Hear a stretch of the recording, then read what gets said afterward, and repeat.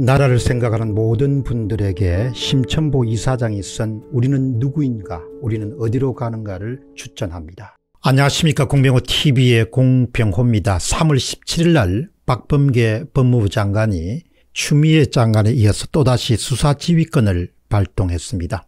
검찰과 법무부의 관계란 것이 이렇게 손쉽게 수사지휘권을 발동할 수 있는 관계로 이렇게 뒤바뀌고 말았습니다. 처음이 중요하지 또 처음이 문제지 한 번 길이 뚫리고 나면은 그 다음에 속소무책이라는 그런 생각을 하게 됩니다. 한명숙 전 국무총리의 정치자금법 위반 사건 관련된 이른바 모해 위정 교사 의혹에 대한 박범계 장관의 수사지휘권 발동입니다. 이미 이 사건은 대검찰청이 지난 3월 5일 날 혐의를 인정할 증거가 부족하다 하면서 무혐의 처분을 이미 내린 바가 있습니다. 그런데 다시 대검 부장 회의를 열어서 기소 여부를 다시 심의하라고 요구한 겁니다. 심의하라고 요구했지만 사실상 제3의 관찰자나 해당 관계자들에게는 법무부 장관의 명예에 따라서 기소하라는 것으로 받아들여질 가능성이 아주 높습니다.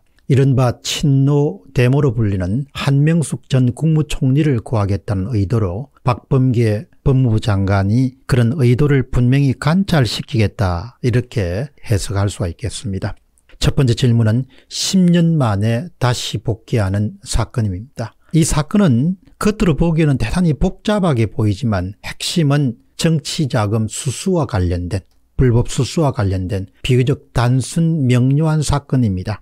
2010년에 수감 중이던 건설업자 당시의 한만호 한신근영 대표입니다. 2018년에 사망했습니다. 한만호 씨가 한명숙 전 국무총리에게 9억 원의 정치자금을 건넸다라고 진술하게 됩니다. 이에 따라서 한명숙 전 국무총리가 수감됩니다. 그런데 무슨 이유에서냐 알수 없지만 한만호 씨가 재판 과정에서 돈 준 사실이 없다고 자신의 검찰 진술을 그냥 뒤집게 됩니다. 아마 감옥 내에서 여러 가지 심경 변화가 있지 않았겠느냐 그런 생각을 하게 됩니다. 그러나 당사자는 이미 고인이 됐기 때문에 정확한 이유가 어떤 것인지를 알 수는 없는 상황입니다. 결과적으로 1심 재판부는 무죄를 선고합니다. 무죄 근거는 한만호 씨의 진술이 일관성이 없다는 것입니다. 그러나 완전 사건이 반전됩니다. 2심 재판부는 한명수 저 총리가 9억 원의 불법 정치 자금을 받았다고 판단해서 징역 2년의 실행을 선고하게 됩니다. 항소심이 유죄 판결을 내린 것은 철저하게 증거물에 기반을 두고 그런 판결을 내렸고 그것을 또 대법원이 받아들여서 결국은 한명숙 전 국무총리가 옥고를 치르고 죄값을 치르는 그런 사건으로 이미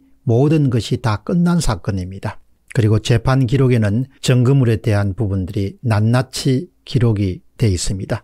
그렇기 때문에 이번 사건을 우리가 대함에 있어서 판결문을 꼼꼼히 읽어보는 것만으로도 얼마든지 이번 사건을 이렇게 수사 지휘권까지 발동해야 될 그런 종류의 사건인가라는 점에 대해서 입장을 정리하는 일이 어렵지 않습니다. 그러면 재판 기록 가운데 중요 부분을 한번 발췌해서 여러분과 함께 살펴보도록 하겠습니다.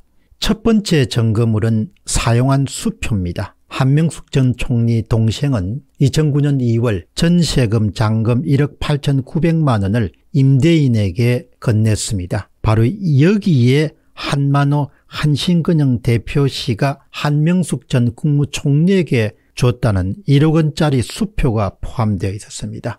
이것이 대단히 중요한 결정적인 점검물로 채택됩니다. 2심 판결에서 두 번째는 한만우 씨가 직원을 통해 관리한 회사 비자금 장부에 2007년 지출 기록들이 나와 있습니다. 이 지출 기록에 한명숙 전 총리에게 끝난 정치자금의 내역이 기록되어 있습니다. 이 직원이 별도 작성한 채권 회수 목록 등에 의하면 무슨 무슨 의원, 한의원 등 표시와 함께 2007년도 3월 30일 날 3억 원 지급, 2007년도 8월 20일 날 2억 원 지급, 합계 5억 원이라고 기재된 점도 2심 판결에서 유죄를 끌어내는 데 중요한 증거물로 활용됐습니다. 세 번째는 한만호 씨 한신근영 대표가 한신건영 부도 충격으로 2008년 2월에 입원했는데 같은 날 한명숙 전 총리가 연락을 받고 직접 병문안을 다녀왔습니다. 또 네 번째는 이튿날 한명숙 전 총리 보좌관이 현금 2억 원을 한신건역 운전기사에게 전달한 점도 유죄 증거로 활용됐습니다. 이 돈이 전달된 직후에 한만호 씨가 한명숙 전 총리에게 전화해서 31초간 통화했고 20분 뒤에 한명숙 전 총리가 한만호 씨에게 전화해서 30초간 통한 기록이 남아 있습니다. 이런 증거물의 바탕을 두고 1심 판결이 무죄를 내렸지만 2심 판결에서는 유죄를 내렸고 결국은 2015년 8월 대법원은 항소심이 판단이 맞다고 보고 한명숙 전 총리에게 정치자금법 수수에 관한 부분을 물어서 징역 2년을 확정한 바가 있습니다.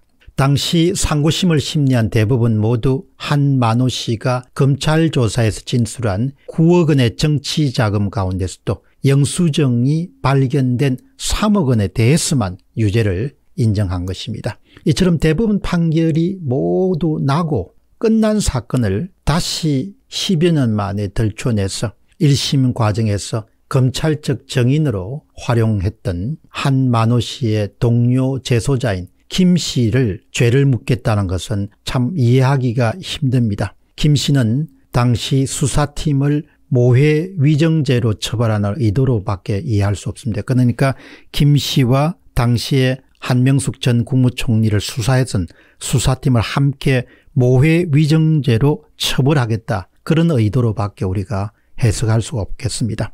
여기서 등장하는 김 씨는 한만호 씨의 수감 동료로서 다른 동료 재소자들과 함께 2010년 4월 무렵에 감옥에서 한만호 씨가 한명숙 전 총리에게 9억 원의 정치 자금을 제공한 사실을 아주 구체적으로 이야기한 것을 듣고 1심 재판에서 검찰 측 정인으로 출석해서 바로 검찰에게 유리한 정언을 했던 그런 인물입니다. 대부분 최종 판결은 전거에 의해서 이미 결론이 난 그런 사건입니다.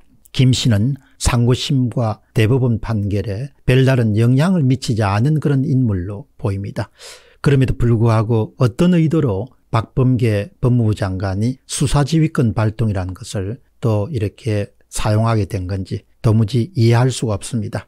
이제는 대법원에서 이미 판단을 내리는 그 사건에 조차도 정권이 바뀌게 되면 다시 또 재검토의 대상이 돼야 되는 것인지 그것은 이해하기가 정말 힘듭니다. 점점 우리 사회가 법치주의가 적용되는 그런 사회인지 아닌지를 의심하는 그런 사례들이 하나둘 늘어나는 것을 볼 수 있겠습니다. 어떻든 한명숙 전 국무총리 사건에 대한 김 씨의 모해 위정 사조 사건은 결국은 박범계 장관의 수사지휘권 발동까지 불러일으켰습니다만은 판결문을 꼼꼼히 살펴보게 되면 사건은 의외로 단순하고 또 9억 원 가운데 3억 원의 정치자금 수수는 모든 증거물로서 명확하게 밝혀진 것이기 때문에 이 사건을 좀 더 정도를 걷는 선에서 해결될 수 있기를 바랍니다. 공병호 TV의 공병호였습니다. 감사합니다.